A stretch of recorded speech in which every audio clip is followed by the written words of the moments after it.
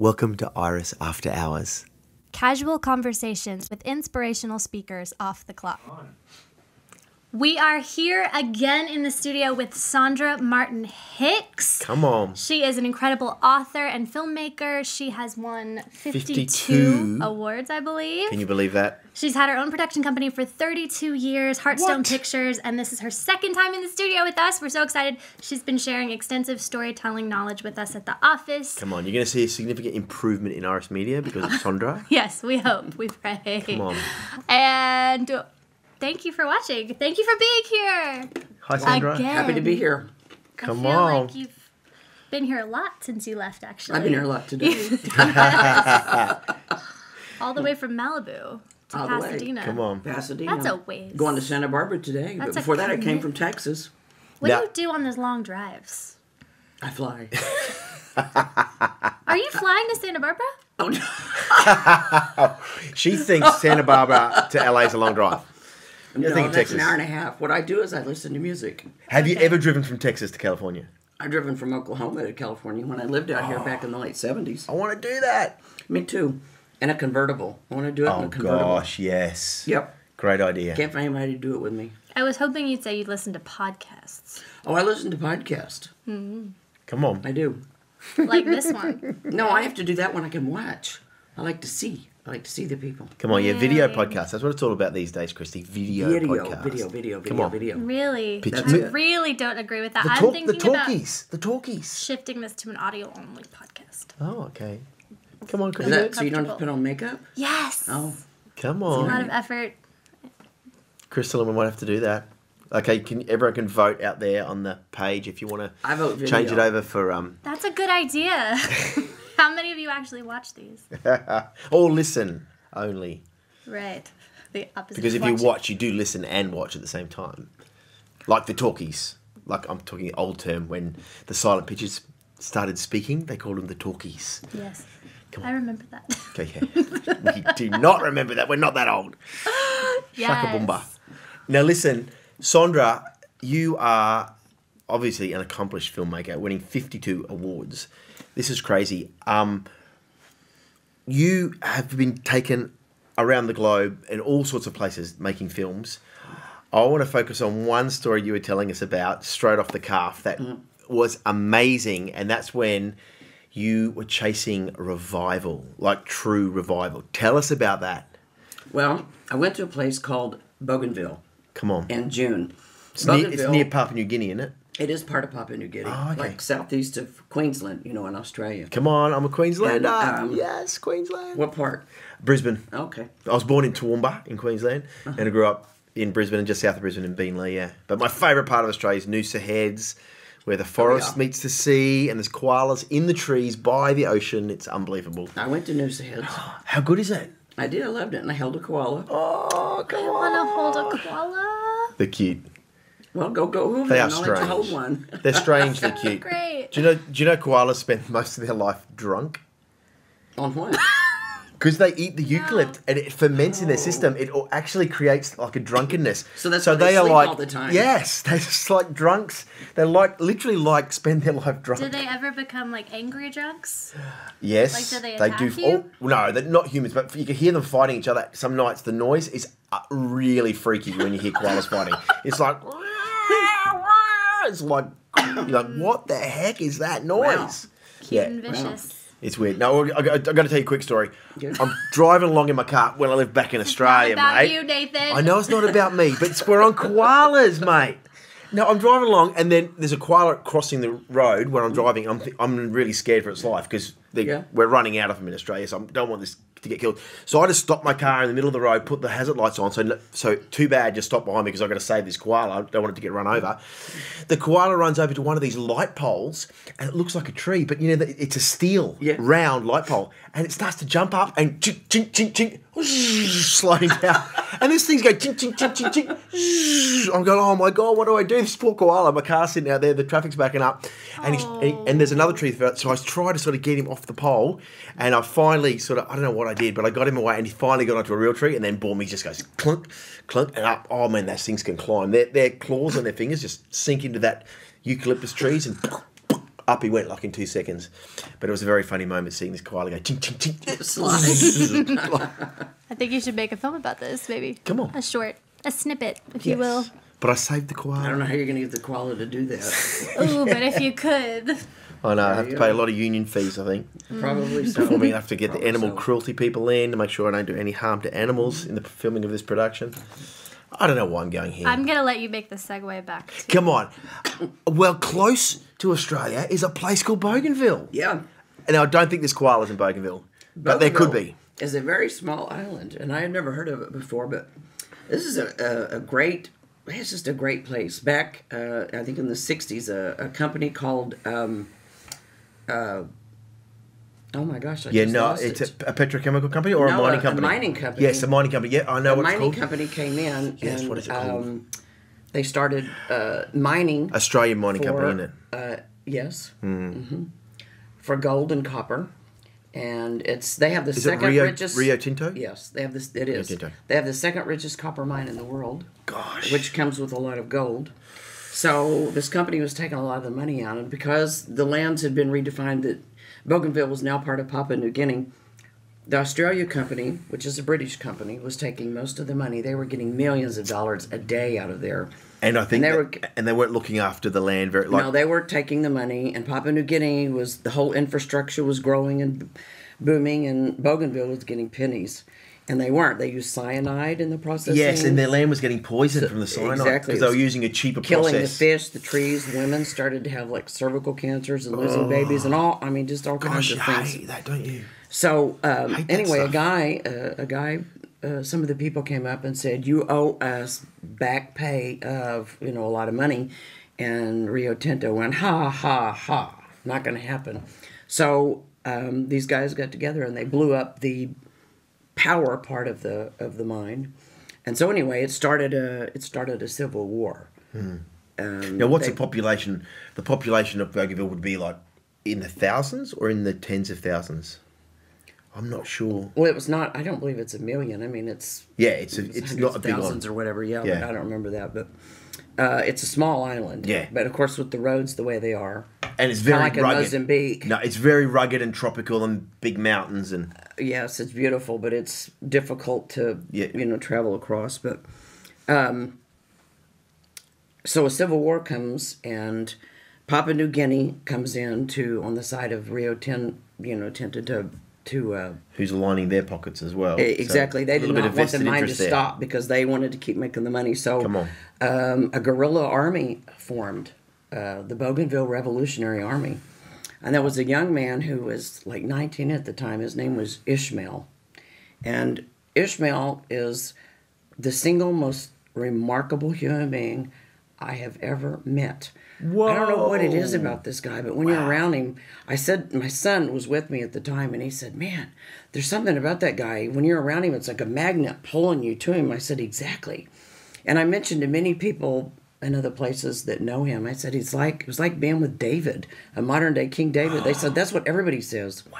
But let me tell you a little about this guy. When he's 19, there's five revivals that have come to Bougainville. Major, major revivals. Like the first one, there was a guy, uh, this this little bitty man. His name was Joshua. He's like maybe five two, five three, little bitty tiny guy. He was a Methodist boy, and one day, minding his own business, God just came and struck him, just landed on him. He just started speaking in unknown languages, and fire came all over him. And God used him to to spread revival throughout the Solomon Islands.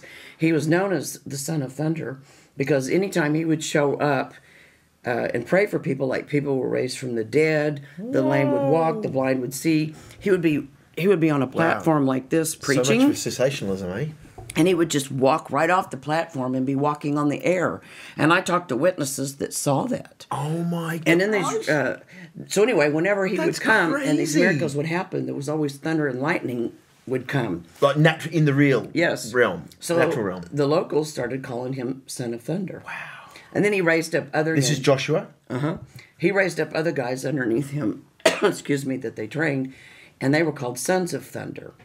And I mean, there was crazy things and all kinds of revivals that went on over there, and uh, like like there was this one of the islands over there. A bunch of kids went for a school event, and they ate over there, and they all died, and they didn't the food was poison. No, it wasn't the food.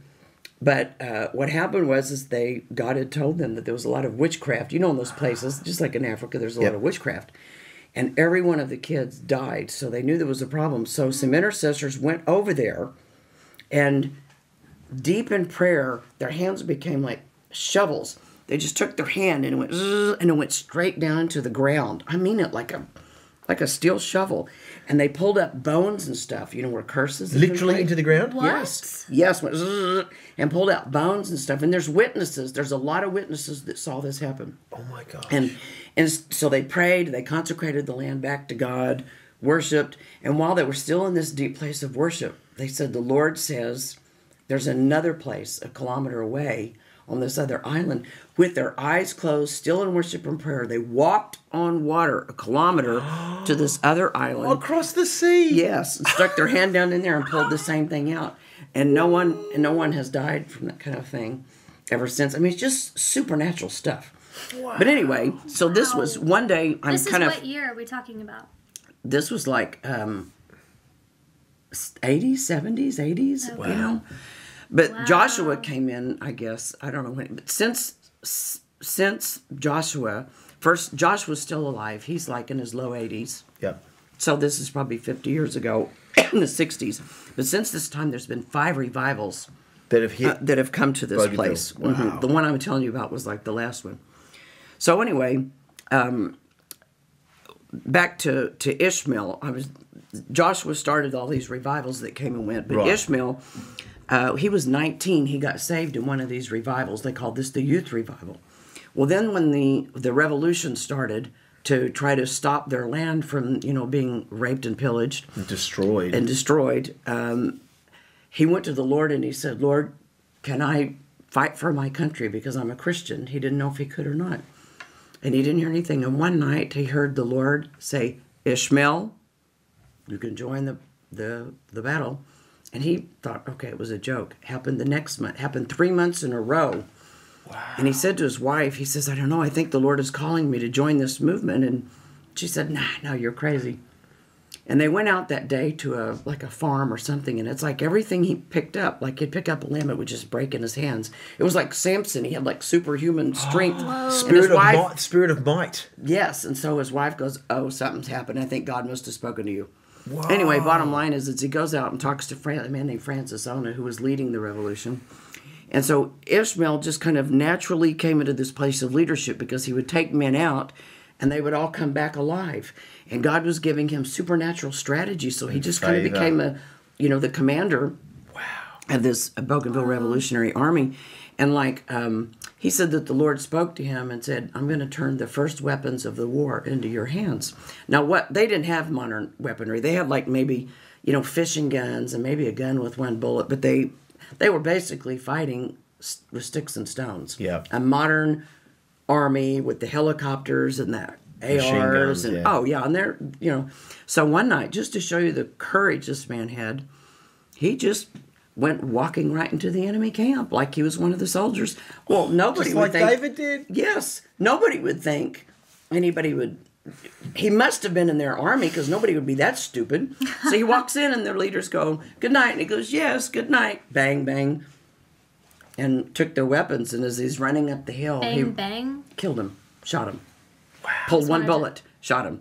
And as he's going up the mountain here, he felt he so strongly felt the spirit of the Lord with him, reminding him that he was going to turn the first weapons of the war over to him. Because he says he was like Rambo. This is when the movie Rambo came out. He has these weapons on his back, and he doesn't even know how to use them. They don't know how to use automatic rifles. Of course. So they're on his back, and he's running up, and he said he felt the presence of God so strongly. Now this is just so counter to what we as modern day believers we're thinking no god wouldn't do that but he felt right. the lord Yeah, I'm kind of So- like, wait.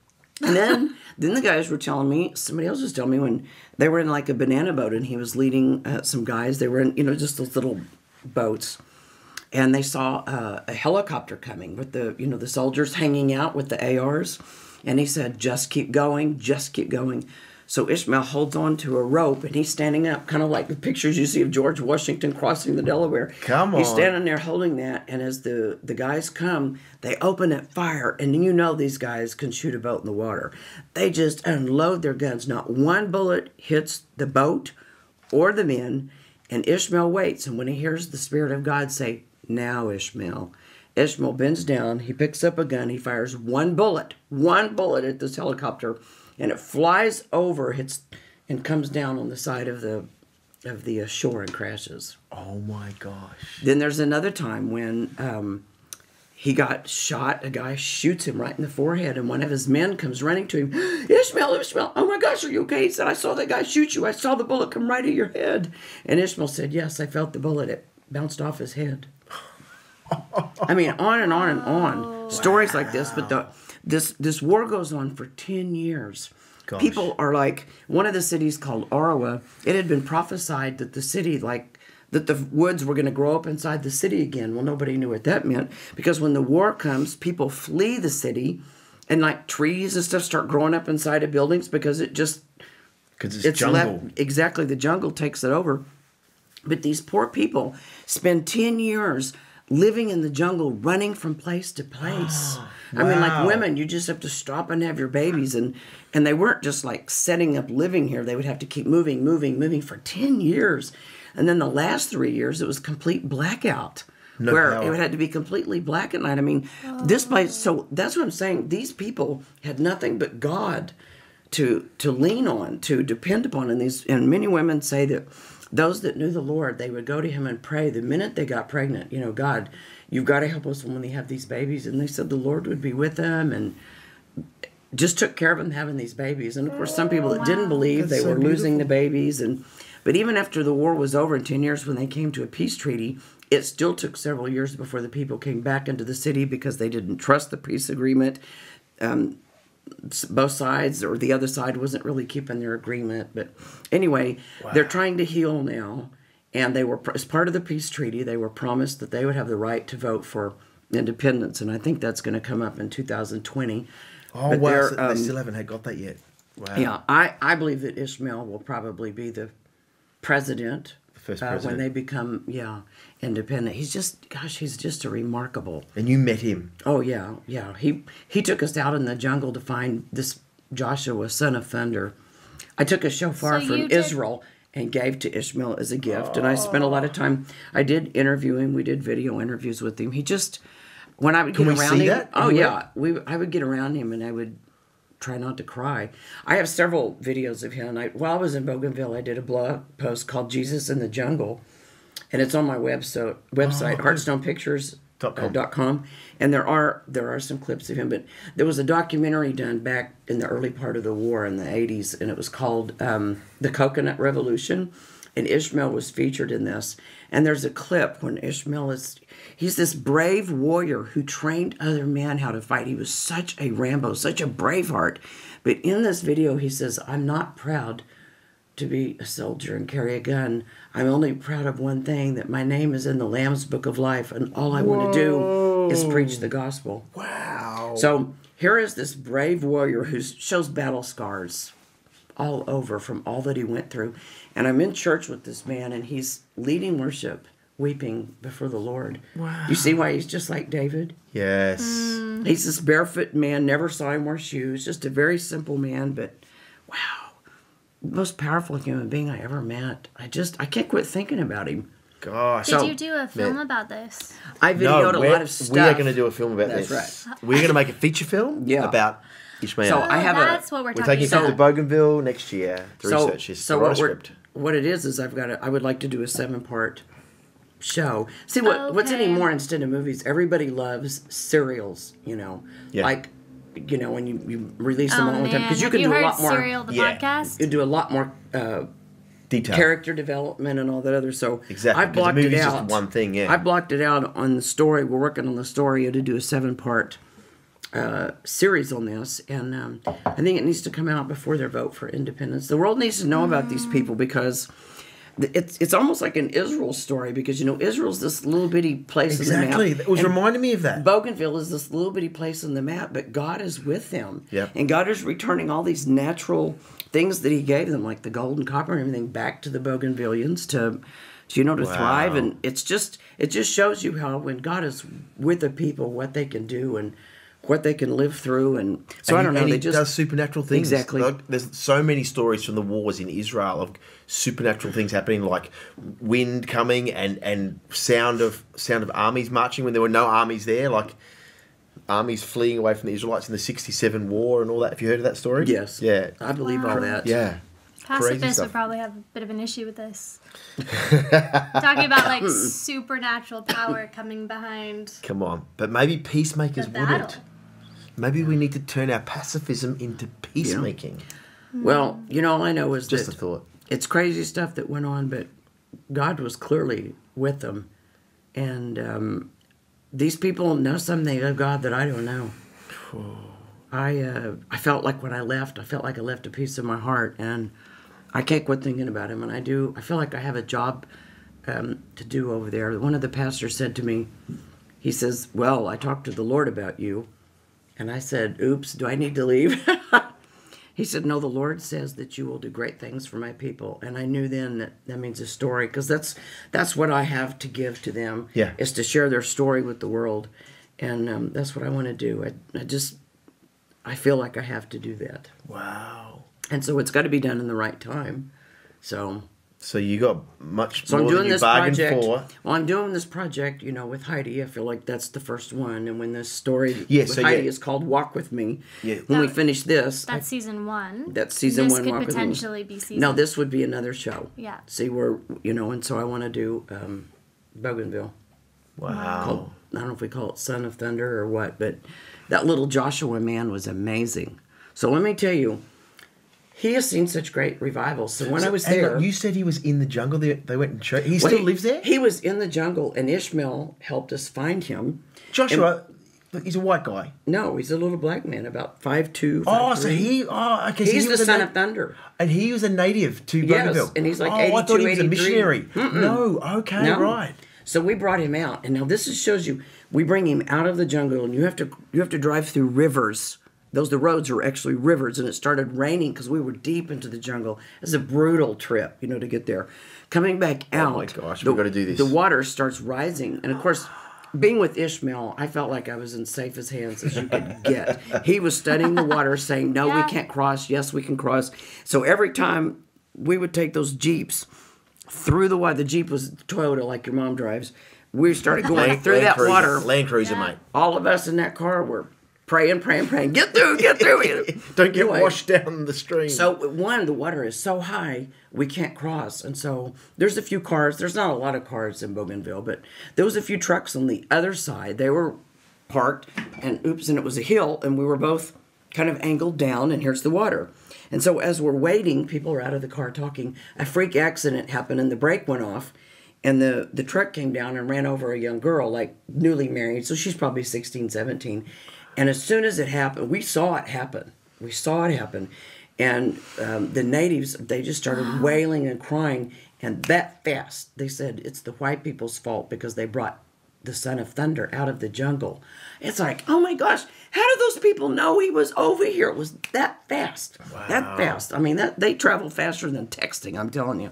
So we begin to pray and worship and try to, you know, calm things down. But so anyway, we bring him back to Arawa and interviewed him, and um, he prayed over us, and he he prayed that he said, God, you gave me what the first apostles had.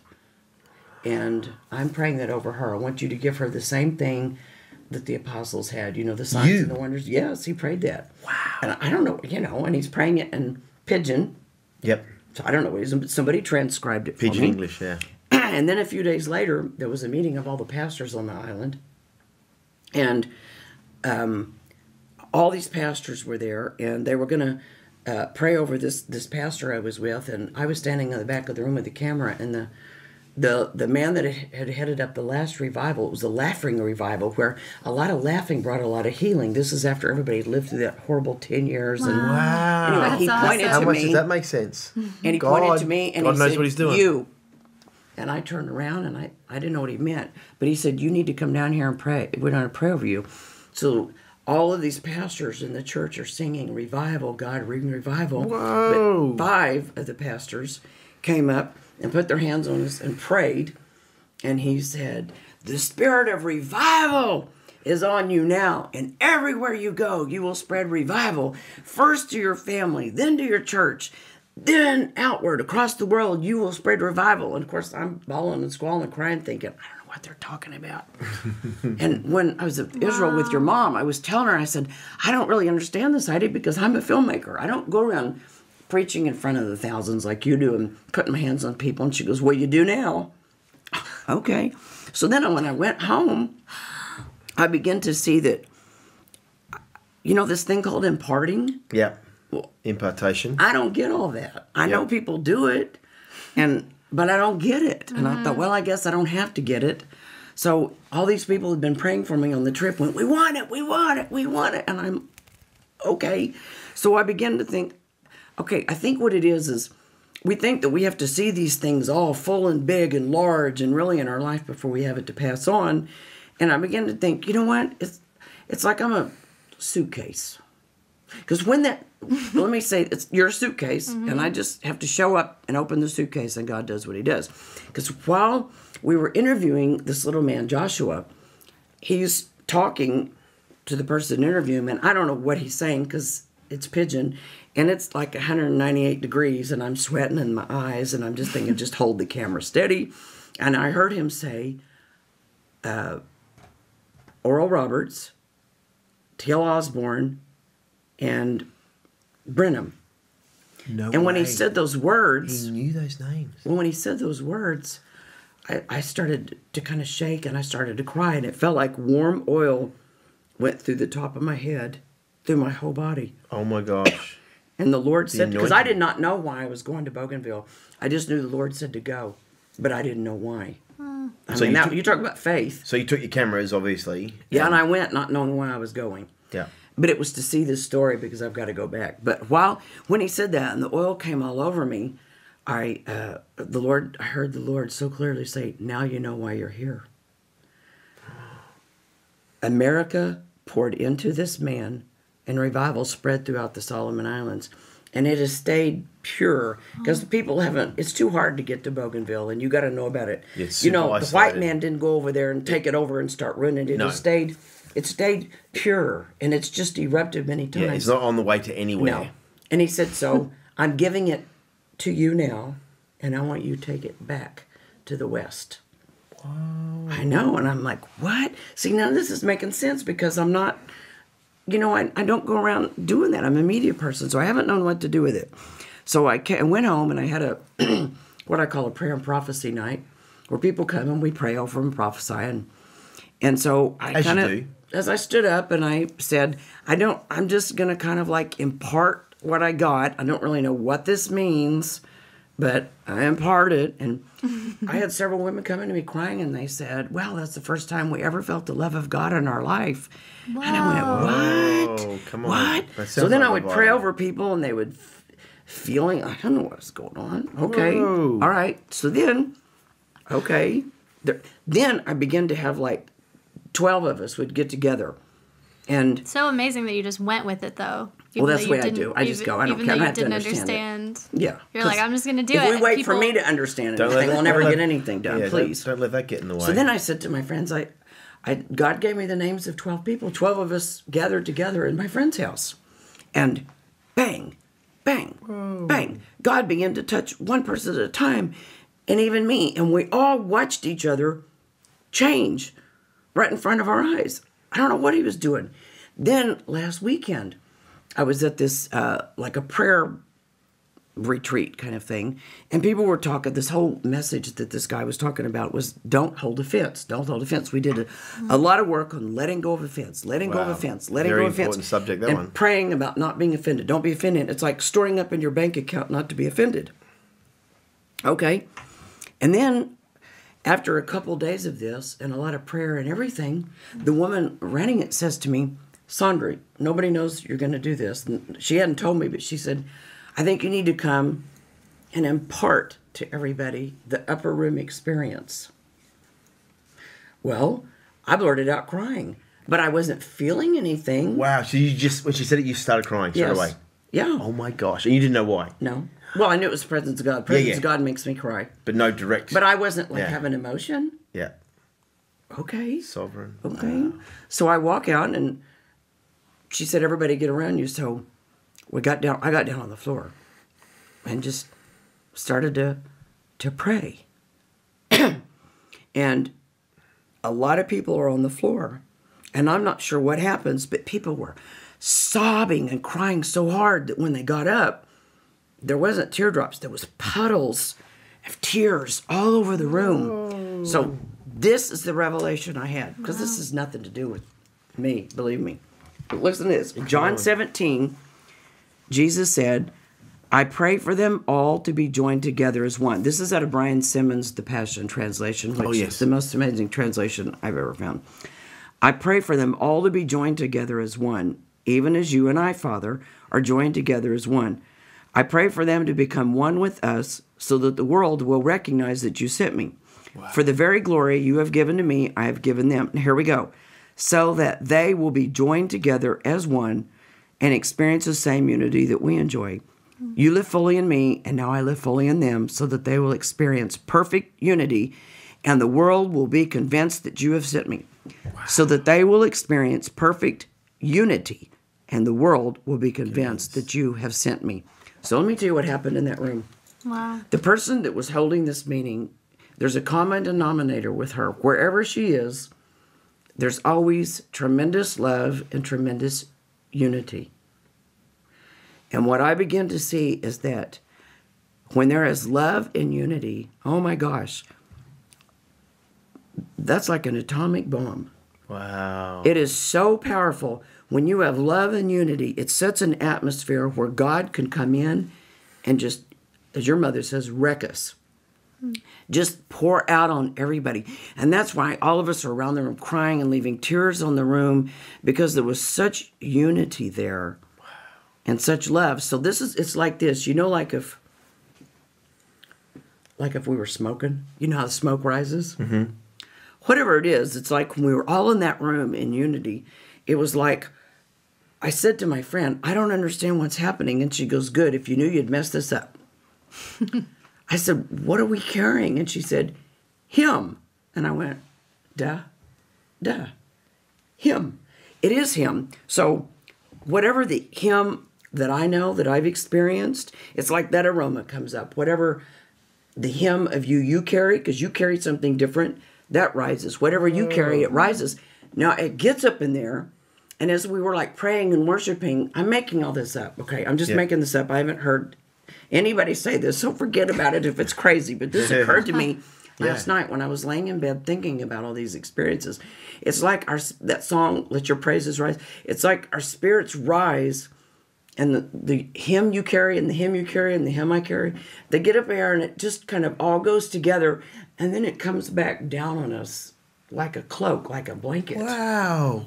And that's how I'm getting a greater revelation of his love and you'll get a greater because that's what ultimately revival is, is a greater revelation of his love. Yes. So when you get in this room when it's love and unity, I don't know, it's kind of like it releases all that God is in all of us and it just kind of mingles around and we all get a little taste and I don't know if any of this is true or not, but this is the this is kind of the visual I see because otherwise I can't explain it. Yeah. Yep. That's. I mean, I really can't explain it, but I this is what I know. I came back from Bougainville and Israel and Africa. Something happens to me when I go to these places. Something would happen to all of us hmm. when we go. And when you come back, you bring it, and you're bringing that more of Him that you know. And that's what I think gets on other people. If any of that makes sense, you can see why I'm not teaching Bible school. I'm just, I'm just a filmmaker. But No, it's incredible. from my experience. It's, You know what I begin to think about? and it wasn't your choice. God just said, "I want." God chose you. But I'll tell you further, further. I've been married 35 years and. I am fiercely independent. I kind of live my own life and do a lot of my things. I travel a lot. My husband's is he's more cerebral. He's an engineer. He's rock steady. He's solid, and I'm You know, I'm Miss Risk Taker, I'm Miss Artsy, I miss this, miss that. And I begin to think, you know, I think I'm cheating myself. Because this whole love and unity thing, if it's going to apply to my friends and it's going to apply to a meeting, this has to apply to my home life as well. Come on. So I begin to think I really need to work on maximizing unity in my family. Mm. And not be such a renegade and not be so independent and share more of myself and, and take the other one. Just, you know what I mean? It's unity. Power is in unity. And that's why Jesus said, by the unity, others will know you sent me. See, what makes people not interested in religion? When churches are fighting, when Christians are squabbling, Yeah. when there's disagreement and backbiting and talking trash about one another, that's what turns people off. And that's why, honestly, if we were all living in unity, like I'm very blessed and very fortunate, and then I have, I have like this small group of friends. We call ourselves bands of brothers. You know, we just it's such unity because there's no competition, there's no backbiting. They celebrate my victories. They're they're Right. behind me. They pray for me. They support me. They cheer, and the same for them. When it's them, we all cheer for them. We support them. We pray for them. We cry with them, and we all do that for each other. Man, I'm telling you, that's like steel, you know. Yeah. And So so, if we were like that in the church, you and I couldn't get into church because the line would be too long to get in. But why isn't there a line to get in church? Why is attendance into- at church coming yeah, wow. down? Can you imagine that? Get into that place of unity. Oh, we're gonna, if we can get into church, we're going to feel peace. We're just going to and, be in and that it's actually love. about Jesus and not about our own kingdom. You know, I don't Yes. I don't know what all this competition is. See, it's like, you know, we're all Exactly. in media. I need to be helping you. I need to be supporting you and vice versa. We we're on the same team. It's not about who gets the biggest views or who's got the websites this way. It's all about fighting for the same team. It's all about getting people into heaven. Yeah. It's it's not about how big can I get Heartstone pictures or how big can you get Iris after hours. It's about what can we do to help people on their journey and, and all of that kind of stuff. So that's kind of the soapbox I'm on today because it's just kind of a new revelation to me about how powerful unity is. Wow. So good. So good.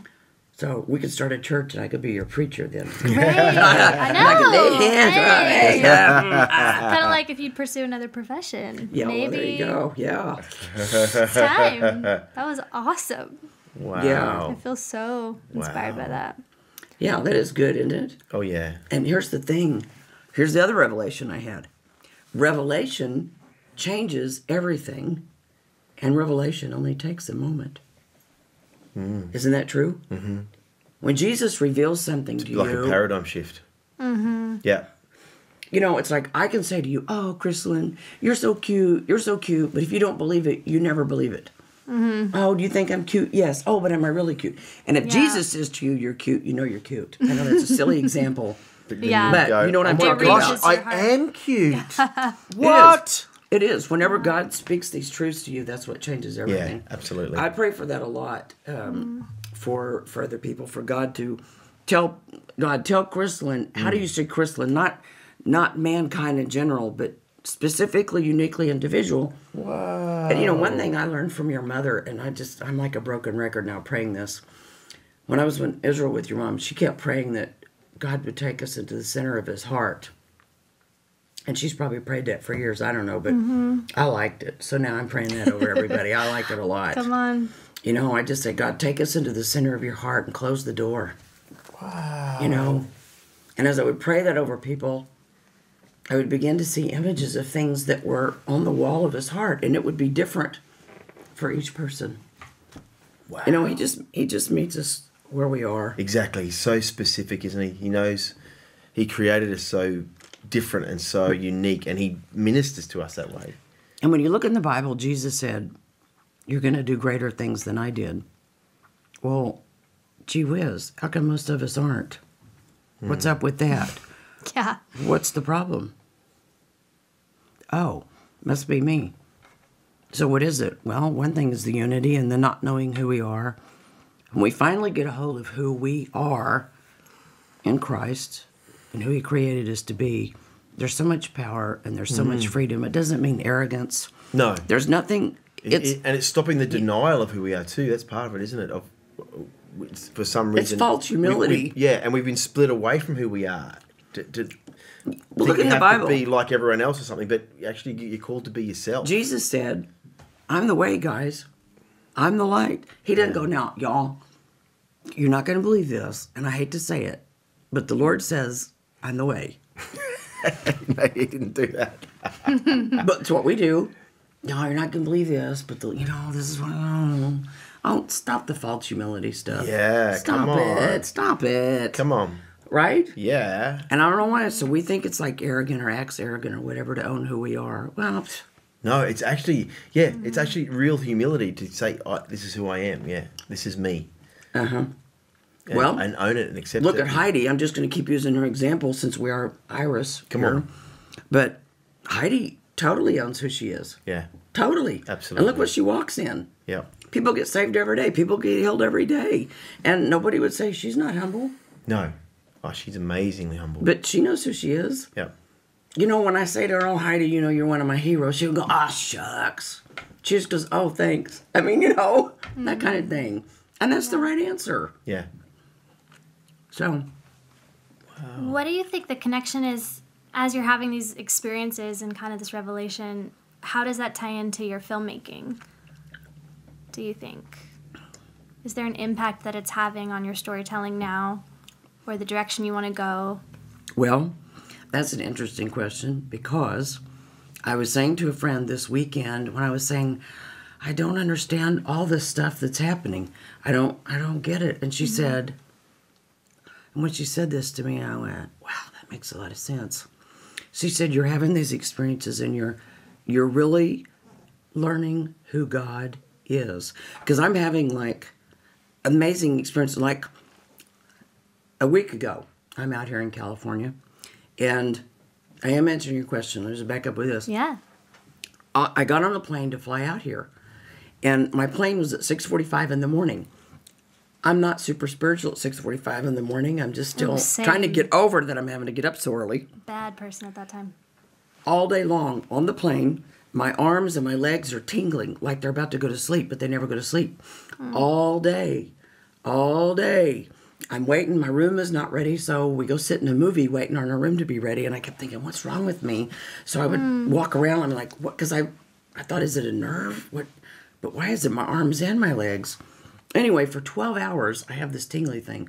Then we go to a restaurant, and when I meet, now it starts on my head, and I keep like going, because it, now it's my head and my arms and legs. Then we get back to the room, and in the snap of the fingers, all of it stopped, and I get this burning sensation in my stomach. And that's how a lot of times when God's talking to me, I call it the BB, burning belly. You know, Moses had the burning bush. I get the burning belly. and so I thought, okay, this couldn't be a back thing because it stopped like that fast and went to my stomach. Then I started getting these things like, you know, like if somebody were to shock you, how you'd go. Yeah, yeah, yeah. Little crunches.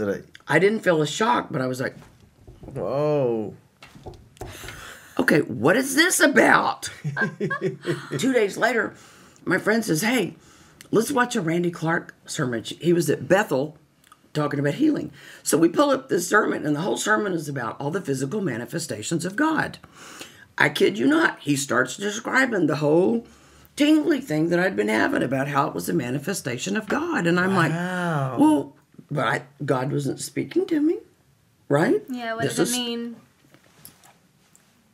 but that went on all day and so and it's almost like every day some wowie hey wowie things were happening you know and then you know a few months ago it's like god takes me to heaven and shows me things and and i'm not you know this is great and i love it well, here's what my friend said she goes Sondra he is teaching you who he is at a deeper level because you can't really tell like the story i'm doing with heidi it's called walk with me well, it's not really a story just about Heidi. It's a story about how God pursued Heidi and how God works through man to accomplish his things on the earth. And it's what friendship with God looks like. Come on. Well, for me to really tell the story the way he wants it told, I really, really need to understand him more. I need to know him more. Yeah. You know, whenever you tell, and this is interesting because it doesn't matter what movie I'm working on, you have to crawl inside the skin of, because I only tell true stories.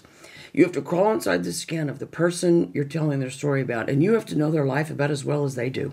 I mean, there's people I've gotten to know their life, and if somebody asks them a question, I can answer it before they do, because you have to so get into their life and feel it. That's amazing. You have to feel it and understand it, and and so like a lot of the stories that. I've told have been difficult about people losing a child or whatever, and I go through a grieving process. Wow. It's really crazy. I go through all that, learning these people's story to tell it.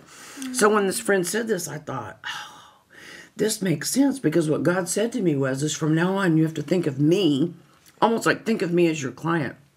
I want you to tell the stories from my perspective, tell the stories from my point of view, from my father's heart. So that is what he keeps teaching me about is his father's heart. It's his father's heart It's what he talks to me about over and over again so that I can know him deeper and better so that I can tell his story more fully, more effectively. So that's how I think it relates. Yeah. Wow. I know, and I'm the lucky winner of that one. Yeah, it's like a direct correlation, isn't it? It's amazing. you know why why God called my name for this I don't know but I'll tell you this I'm never going to say why me I'm afraid he'll say oh shoot we made a mistake we meant to call Sandra not Sondra We got a typo. Why you a typo in the heavenly laptop, mate. yeah right The heavenly email. Oh, the angel's got the wrong assignment. Who did the mistake? Gabriel, get over here. you know I, Fix this typo, mate. I heard a guy say to me one time That's so funny. you know if I said to God why did you pick me he'd say if you have to ask I must have picked the wrong one so I'm not asking why I'll just say thank you Lord So, guys, don't your ever eyes ask roam the why earth me. pick me pick me pick, me. me. I'm all about it man Fun. Come You know, we don't have to be we don't have to be perfect and fantastic and have all the answers to do things. We just have to be willing. Listen, I'm a hot mess on Tuesday, Thursdays, and Saturdays, but that's okay. You know what I mean? Yeah, yeah. And w- what's been interesting, what you've been talking about, and just hearing you talk off camera as well, yesterday and today, and what I've been seeing God doing with other people, just that God sovereignly moves on people Yeah. without even sometimes. uh, they- Yeah, we don't have to be in our holy spiritual moment. Yeah, yeah, and not even necessarily. And you could even be thinking, "Oh no, I'm not going to do that," and all of a sudden you're doing it. People have been telling me that, like, or God's doing something on you, or picking you, or, and it's just that being available for God to, to you know, Yes. come and do what He wants through you. Use your body, use your mind, use you, you know. Well, I've had experiences where I was opening my mouth to say ABC Yes, and XYZ comes out. yes, that's, What? that's the exact thing I'm talking about. What? Yeah, mm. Yeah. Yeah. and one of them. and, pe- and people are getting ministered to by it, and significant things are happening. Well, one time my husband said, I don't know if I told this before, but my uh, I sat down to tell my husband something that I had done over in Turkey, and I opened my mouth to tell him about something I had seen in Turkey. And when I opened my mouth, I started repenting and apologizing for being hard to live with and for not being as good a wife as I could be and all that. What was that about? Wow! I just wanted to tell him about being in Turkey. Wow! Look out, Jehovah Sneaky. Yeah, was sneaky. Yeah. That's awesome. Yeah, and I started crying and repenting. I didn't have any idea. I of doing that. I don't know whether it's me or not, but I'm hearing these stories all the time. I don't know whether God's doing something now on the earth. Mm. I don't know. But if it is, leave a comment down below if it's happening to you or you've been hearing about this as well. Because I don't know. This feels like God is just putting words in our mouth and, and What we say, revealing- use me, do whatever you want. Yeah, right? and Well, we revealing- forget we're saying that. and revealing stuff about other people around us to encourage them or to, you know. Yeah, he's busy. Yeah. Whoa. But you know, don't you? I get up and say, God, my life is yours. Do whatever you want. Whoa. So- yeah. That means when you open your mouth You- to say, "Hey, I had tacos for You're- breakfast," you actually say, "I'm so sorry." You're a heavenly target. when you Yes. op- pray that prayer. I know, isn't it great? Wow. Yeah. I, listen, And then I he can shoot his arrows through you to anyone who needs that. Those love arrows. there's nothing funner than walking with Jesus. Nothing funner. It, it's so, and you know, people say, "Oh, oh, you're so brave." He tells you to go places, and you just go. Well, I don't think that's hard. I don't think that's risky. I mean, If why would he send you you to if it went? go. It's gonna be fun. Exactly. Yep. And and who think true. and who's to say there's not risk by not going and staying where you are and be out of the center of God's will? It's more riskier. Yeah. Because you're And not if he sends you're not safe somebody- anywhere really. If he sends me to somebody, I say, "Well, he wants you to get healed or get better. And they go, well, how do you know? And I say, because he wouldn't send me here. Come on. Wh- Why would he? We got things to do. We don't have time to waste. He wouldn't be sending me here unless he's got something in mind. Wow. See, that's not being stuck up. No. That's just knowing God. Exactly, and and knowing his his goodness is busting to get out to people, and his healing, and he's the healer, and he wants to come through you and and bust out to other people, and his love wants to pour out. To, and we just say if we we say yes, he'll he'll use us as the vessel. Best way to live. Wow. Hey, So now, when you do that, what's going on? You want to do the wows? Yeah, well, what is God? Tell us what's going on, Mr. Physical Manifestation. Let's hear about it. What's going That on? is Nathan. What is it? Well, I never used to manifest like that at all. It's funny you asked that. Um, I don't know. I think I just put it down to that my spirit almost leaps within inside of me, and it makes my body respond. Oh, what does it feel like? It just feels like um, it just it, it feels like a rising up inside, an internal sort of like, yeah, Wow. yeah, Let me and, see and I do it. vocalize. it. Wow, I want to do it. I'm part Wow. Or backwards. Wow. I know, I know, I know a lot of people do that. I know. yeah. Patricia King does it. Heidi does it. They all do it. They go, oh, you know. Yeah, and it's funny when I'm with Heidi, it happens a lot, and we actually do it at the same time without even. And Bump it's heads? both, yeah, Well, well, Yeah. In, in the spirit, it's like we we we do it at the same time. We're with somebody, you know, wow, something's going on because you're actually doing it at exactly the same time, repeatedly as you're together. It's like, okay, something's going on here. Mm. But I mean, I don't. I suppose I don't think about it much or be aware of it much because I know it's not. I don't know. I think yeah, it's my my flesh responds somehow to what's happening in my spirit in that moment, and it's usually with revelation. It's, my manifestations are mainly with revelation of of, of something of God's goodness or testimony, or mm. Because deep in my heart, it's like anything of God is like, and when I see Him move, or I see Him glorified, or I see Him, you know, praised, or it, that, my spirit is totally into into Him being lifted up and Him being released, and Him. So I, it, it's like my spirit rejoicing. How It fun is that? Yeah, it leaps with joy, I suppose. Really, is what it is. I think that's fun. Yeah.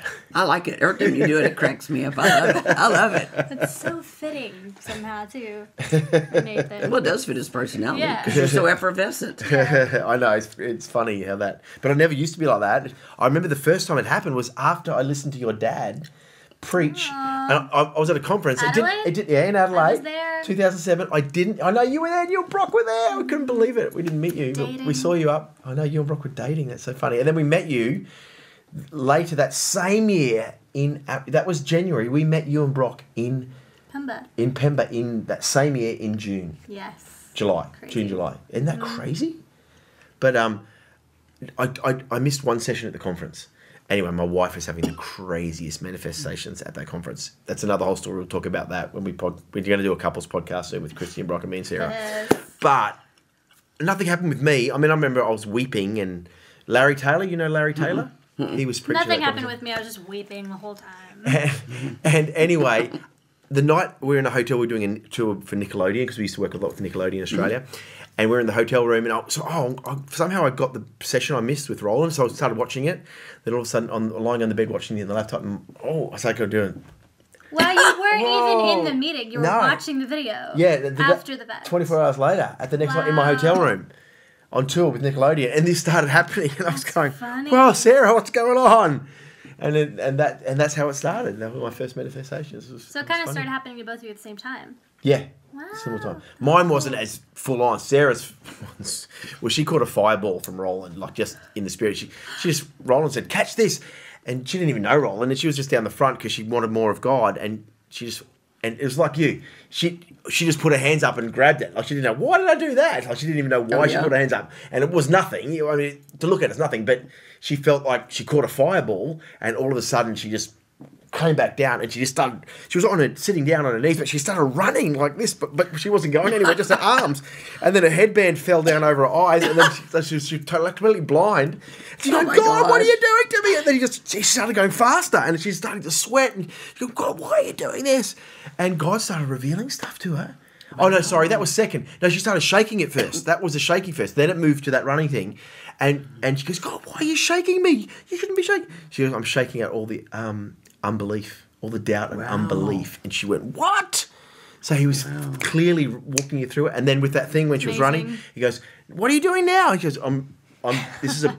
I'm showing you what it's going to be like in the spirit. You're going to run blind for the rest of your life." Oh wow. Whoa, and crazy stuff. So he walked her through these manifestations. We actually, when we were running the harvest school, we used to teach on the manifestations because all, all sorts of people come to the harvest school. So you know, you get some people from conservative backgrounds, from full-on Pentecostal, mm. from you know new Christians, and a lot of them haven't seen it. Or people think, oh, why am I getting manifestations? God doesn't love me as much, or you know, and we've got a teaching about It's that. It's a real journey for people. Yeah. That issue. It is, Or and not it's- issue, but yeah. and it's whether not- or not they experience that. Yeah, and I really encourage them. If you're not getting it, it's great, you know. And if you do get it, it's great. It doesn't matter. It's not about that at all. It's it's fully just about you know being with God and building your desire for Him. And sometimes it happens, sometimes it doesn't. You know. When I said to my friend the other day, I said, I don't understand what all these manifestations. Can he come and manifest and just be coming? She goes, It's not possible for God to come manifest and there not be a deposit. Come on. I said, Well, I guess that's true. But, you know, when we watched Randy, when I was talking about Randy Clark, he was talking about that stuff. As I was sitting there listening, I thought, oh, I feel it coming on again for over an hour. I laid on the sofa after that going, Oh and then you'd feel it coming on and think, okay, I'm not jerking this time. yeah, and you try to stop it. Yeah, yeah, exactly. I did the same thing when And I then first. when- started. I thought I'm, I'm not going to do it this time. Yeah, it's and probably just me. it. And what- what's going I know, on, man? I stood up to go to bed, and my friend goes, "You look like a piece of meat." I think that meant you look wiped out, and I don't know what goes on. I know. haven't had- and I don't guess we need to know. But you know what? One thing just came to my mind then. Be a humbling thing. scholars still don't know to this day when you say you need to be led by the Holy Spirit or, Mm-hmm. you, or led by the Spirit. In the terms that all those terms it uses the Spirit, they can't define where it's talk, whether it's talking about God's Spirit or man's Spirit. Oh, And a lot of scholars believe that because of the union, because you know when Paul says that you become one with God when you when you're born again, His Spirit and your Spirit, um, you know, mix.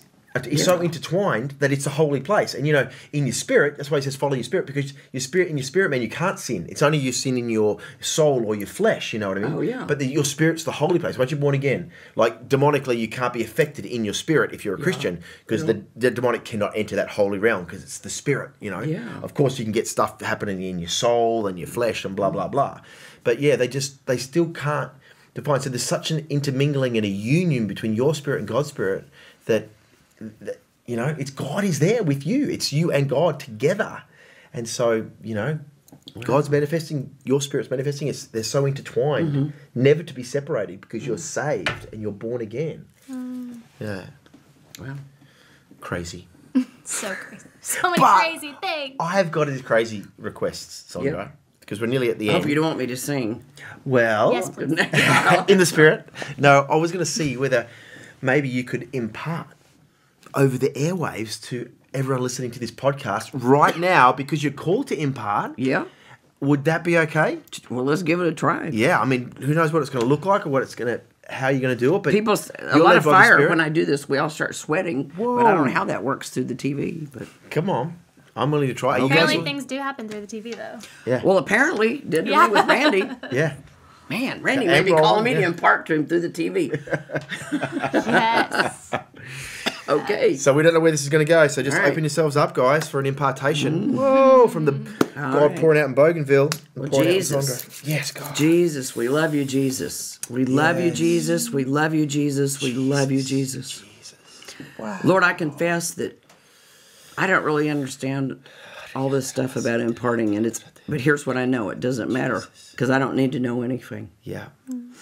Your ways are mysterious. Your ways are perfect. Your ways are incredible. Yes, God. But I do know, Lord, that you imparted a spirit of revival, Whoa. and he told me to pass it on. So, Lord, I open up that suitcase Wow. right now. Thank you, God. And I ask you, Father, to impart your spirit of revival, which, Lord, the spirit of revival is a deeper revelation of your love. Yes, God. So, Jesus, right now, I ask for a deeper revelation of your love for every person listening. Yes. Lord, would you touch them? Would you touch their spirit, man, to see you clearly? Mm-hmm. Would you give them eyes to see you? Would you give the eyes of their heart Wow. Give them new eyes to their heart, Lord, to see you. Yes, God. And Jesus, for those that need to feel your arms around them, would you let them physically feel you hugging them? Yes. Wow.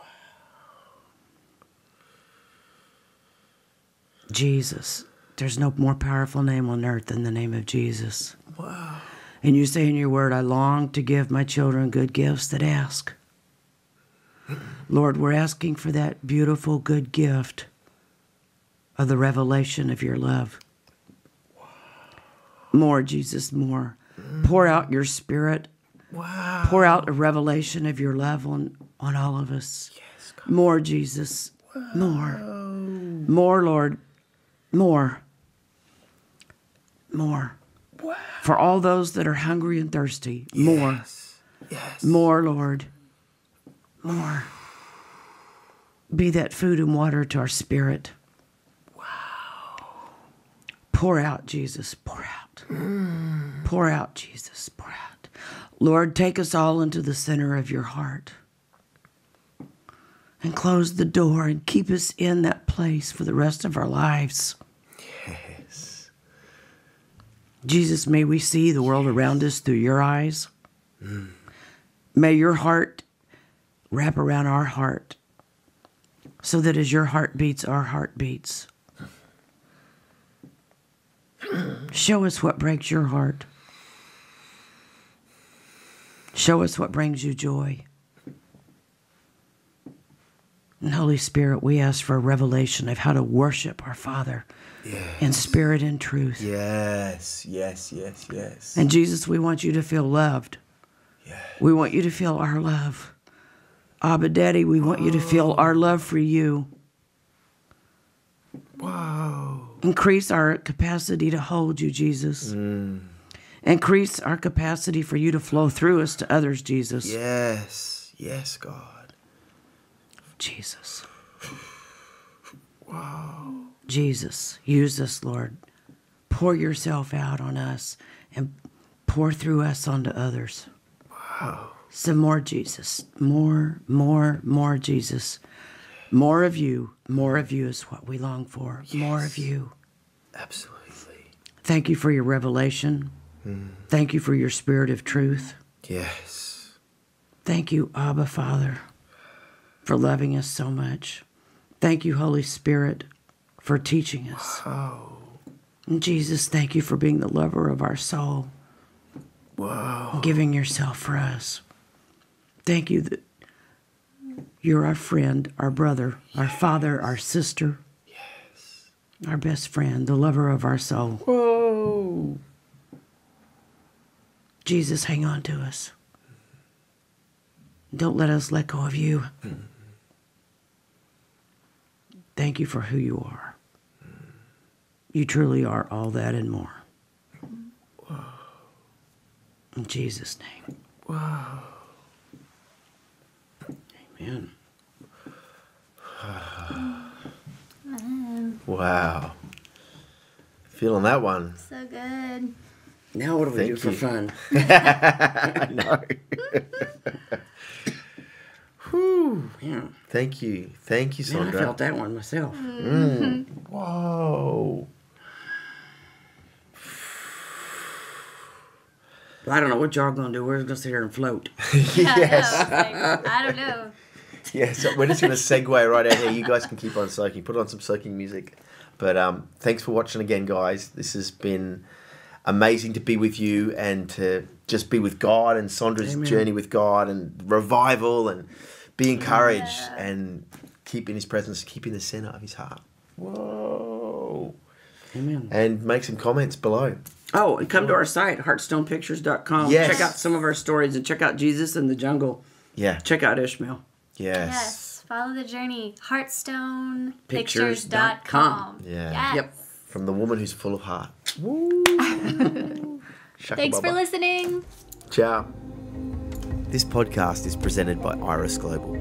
For more information or to support the work of Iris Global, please visit us online at irisglobal.org.